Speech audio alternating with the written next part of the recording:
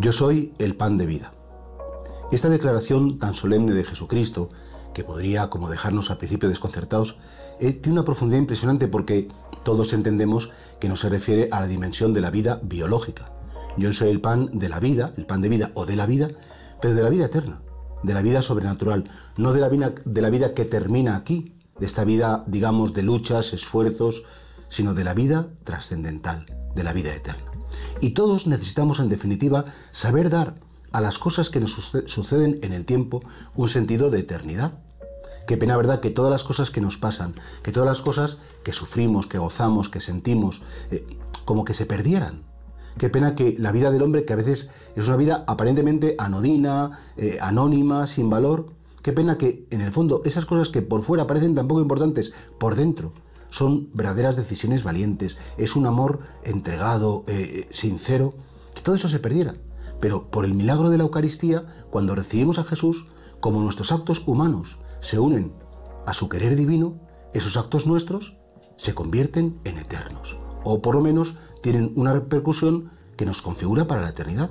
Los actos malos para ser perdonados, evidentemente, por el sacramento de la penitencia. Los actos buenos para dar gloria a Dios y para recordar por toda la eternidad lo bueno que fue el Señor con nosotros. Por el cristiano es alguien que necesita la Eucaristía. Entonces pensamos que la Eucaristía es, que la misa del domingo es como un mandato que Dios nos pone para efectivamente ir por su casa, es como la cuota que necesita pues, pues de, de oyentes o de personas como a favor. Todo lo contrario.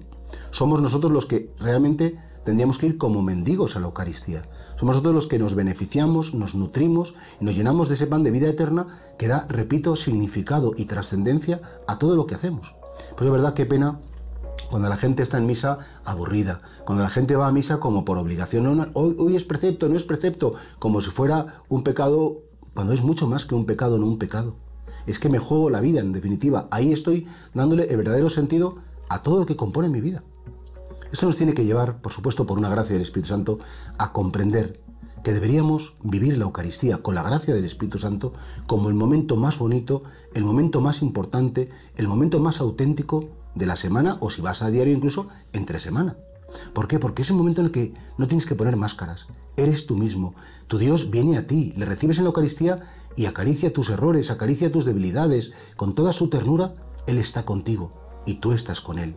Y por eso qué bonito saber que el Señor ha dispuesto para cada uno de nosotros ese pan de la vida, para que nos nutra, para que nos fortalezca, para que en definitiva nos dé ese sentido profundísimo de que estamos aquí no como una prueba, estamos aquí no como, como un tiempo para lo, sino que estamos aquí para vivir en el sentido más bonito, más profundo y más auténtico del significado de la palabra vida.